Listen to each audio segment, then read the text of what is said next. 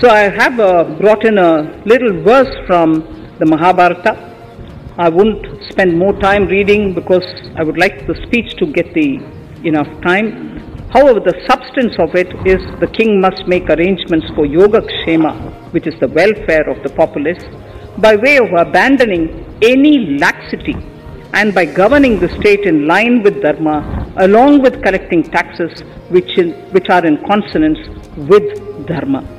This is Mahabharata Shanti Parva Adhyaya, Sloka 11 from 72. So I have uh, brought in a little verse from the Mahabharata.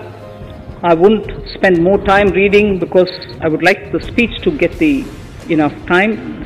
However, the substance of it is the king must make arrangements for yoga kshema, which is the welfare of the populace, by way of abandoning any laxity and by governing the state in line with dharma, along with collecting taxes which, in, which are in consonance with dharma.